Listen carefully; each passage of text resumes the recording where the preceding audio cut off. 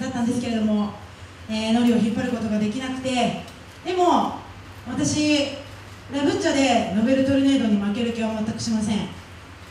10月9日両国は危なげなく勝って決勝10月29日はアジュレボとラブッチャで対戦したいなって思ってます。この勢いを止めずにレジェンドであるラブリー・ブッチャーズを倒し私たち新人重量級のノベール・トルネードが10.29の後楽園ホール大会決勝に進みます、えー、気を引き締めて次の両国挑みたいと思います。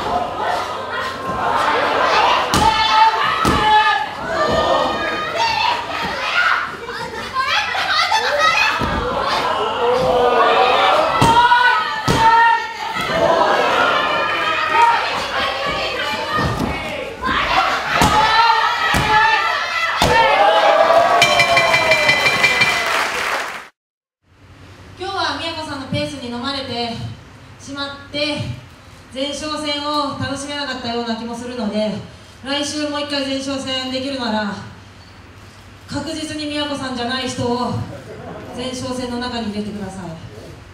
ちゃんと前哨戦やりたい。ただ長崎マルコの前に立ってて負ける気が全然しない。どこ向いてんの？下向いてるでしょ。なんで下向いてんの？ちょっとつ盲信だから下向いてんの？ちょっとつ盲信なら前向けよ。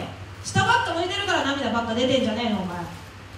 マルコは猛スピードやるって言い始めた時からすっごい期待してる。私にはできないことだから猛スピードなんて。だからもっと前向いて上向いて猛スピードで向かってきてほしい。長崎マルコにしかできない。試合を両国 KFC ホールで見せろ。確かに下ばっかりしか見てないし。自分に自信がないのかもしれないし。それは自分でも分かんないですけど。でも世良さんが持ってなくて自分が持ってるものはいっぱいあります。それを信じて10.9の両国 KFC ホール大会ベルトに挑戦するし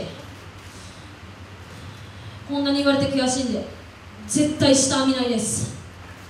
おい！なんとかトルネード。名前なんだっけ？ノベルトルネードです。ノエル？ノベル？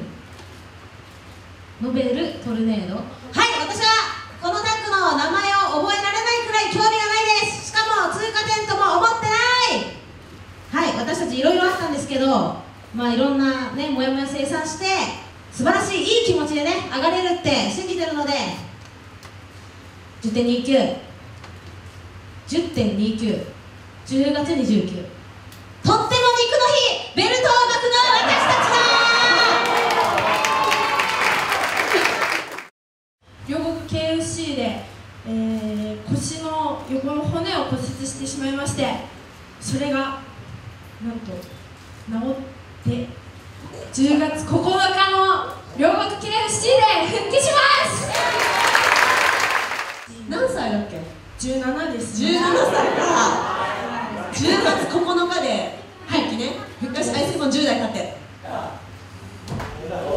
もうもう独断と偏見で決めます。6人タッグ10代タッグマッチ金よりくるみ復帰戦。えー、金よりくるみカレンデート朝日対ノリデート星いぶきキュー